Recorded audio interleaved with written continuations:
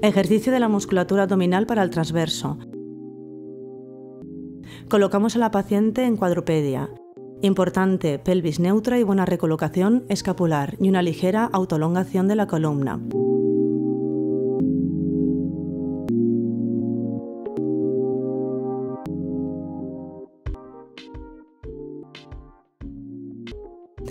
Durante el ejercicio va a tomar aire y va a sacarlo y durante el movimiento de expiración activará la musculatura del transverso, de tal manera que al inspirar hinchará su barriga y al expirar, mediante una previa contracción del suelo pélvico, va a dirigir la barriga dirección a la columna.